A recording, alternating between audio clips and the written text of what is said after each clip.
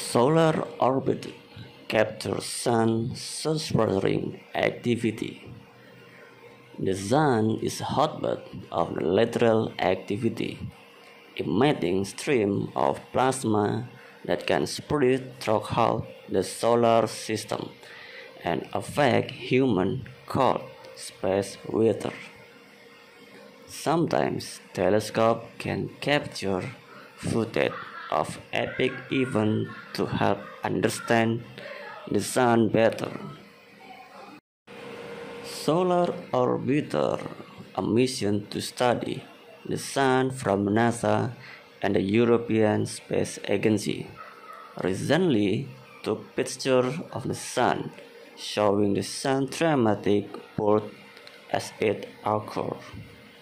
The sunburst is a massive structure of the length a magnetic field lines that keep a dense concentration of the sun plasma suspended above the sun's surface, sometimes taking the form of the curved circle.